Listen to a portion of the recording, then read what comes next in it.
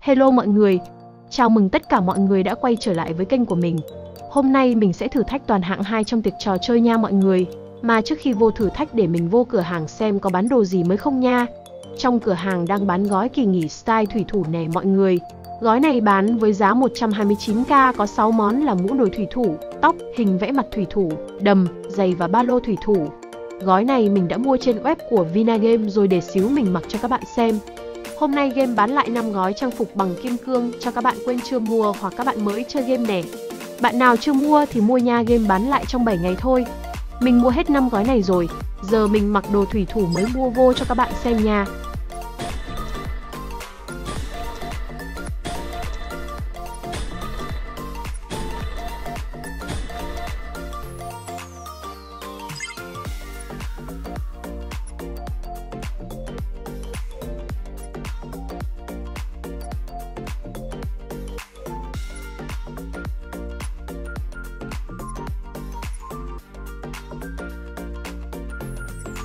Bộ thủy thủ này mình thấy khá là đẹp với dễ thương đó mọi người. Mặc đồ xong rồi giờ mình vô tiệc trò chơi thực hiện thử thách toàn hạng 2 nha. Chúc mọi người xem video vui vẻ. Hẹn gặp lại mọi người vào video sau nha.